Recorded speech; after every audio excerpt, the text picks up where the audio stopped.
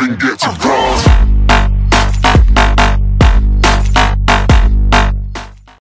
Yeah, yo, what's up guys? I'm going to be showing you how to bypass the 45 minute wait to sell car. First you need to have two garages in the same building, and the garage has to be filled.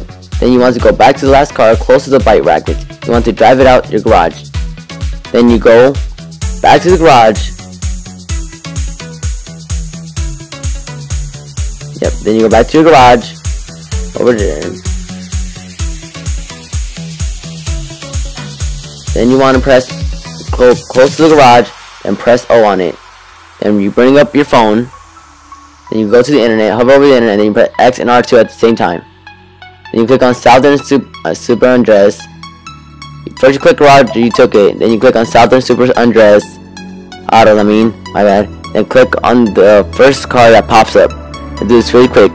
Then you go scroll down to the next row, you click on Rusty Rebel, click any color and buy it. At this part, you wait until the garage is like close to the ground.